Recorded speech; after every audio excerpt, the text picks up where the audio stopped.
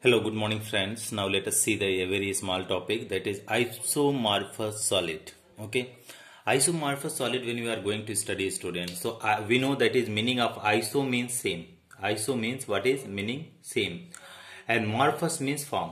Morphous if you talk about the morphous. So morphous means what is student that is form. So what is that is the isomorphous solids are what two or more solid substance two or more solid substance existing in same crystalline form same crystalline form or structure are isomorphous to each other. The meaning is that if the two are more than two ionic solid or the solid existing is two or you know same crystalline structure or same form that is what is known as isomorphous solid. I hope the definition will be clear student. That is two or more than two solids having same structure or same crystalline form. Same crystalline form or same structure are known as what? Isomorphous solid.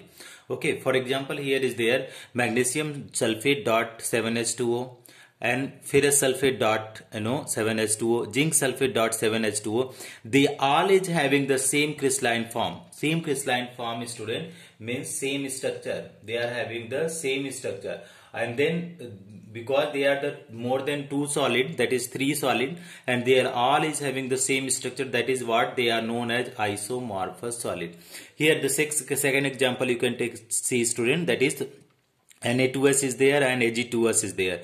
They are also having the same structure, same crystalline form. So they are known as what student? They are known as isomorphous solid.